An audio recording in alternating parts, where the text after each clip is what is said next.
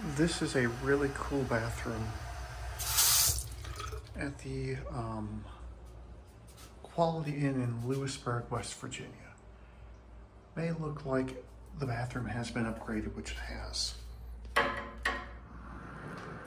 You can see they ripped out the bathtub.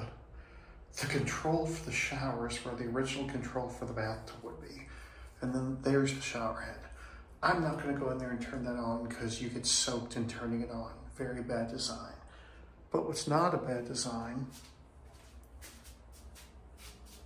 this original Eljer toilet.